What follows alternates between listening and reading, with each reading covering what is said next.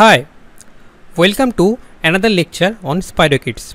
Today I am going to discuss about pathogenesis of syphilis in general, clinical stages and histopathology in general. We will also summarize the previous lectures. After this lecture, we will make lectures on specific clinical stages of these disease. Syphilis or lues is a chronic venereal infection which is caused by the spirochetes Treponema pallidum. Treponema pallidum is a spiral shaped motile bacteria with corkscrew movement seen by dark ground illumination. It is slowly growing so it requires treatment for a long time.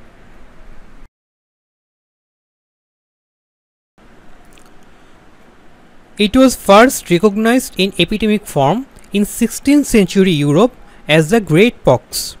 Now, syphilis is endemic in all parts of the world. Treponema pallidum is a fastidious organism, that means it is very fragile. It can't survive outside the human body and can't tolerate heat. Syphilis is transmitted primarily by sexual contact with infected person.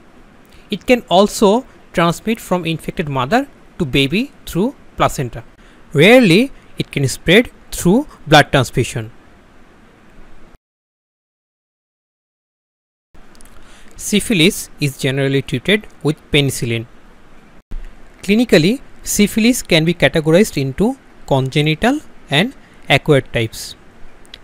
Based on the clinical course, acquired syphilis is further staged into primary syphilis, secondary syphilis and tertiary syphilis.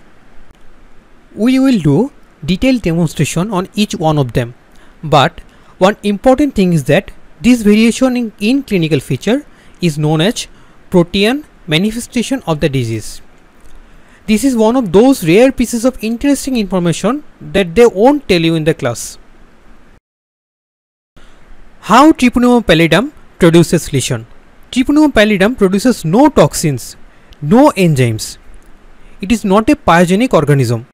It produces systemic disease. But how? Basically, syphilis is a disease of blood vessels and perivascular area. The pathognomic microscopic lesion of syphilis is a proliferative endarteritis with accompanying inflammatory infiltrate rich in plasma cells. Let us analyze this statement. The word pathognomic comes from Greek words. Pathos means disease and nomon means to judge. Proliferation means rapid increase in number of cells. Endarteritis means inflammation of inner lining of an artery.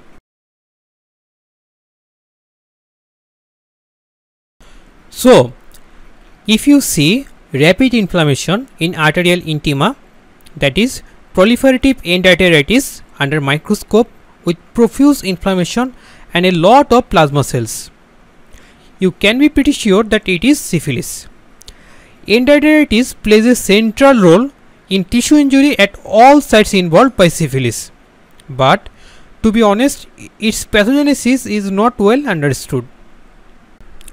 There is no evidence that the spirochete can cause any damage to the host tissue directly.